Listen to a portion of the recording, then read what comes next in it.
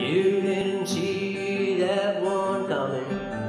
You didn't think that would happen. You thought you had it all planned out. Life could be such a race. Have to drive like and ready. In the end, you just spin your wheels. It's time for you to. Take your hands off the wheel. Let Jesus do the driving.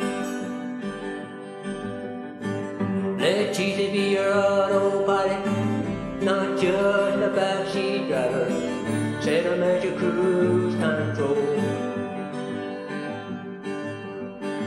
You already have GPS, the coordinates for your set makes me sure it points the right way. Let Jesus be your auto body, not just a backseat driver. Set him as your cruise control. Let Jesus be your autopilot, not just a backseat driver. Let him be your cruise.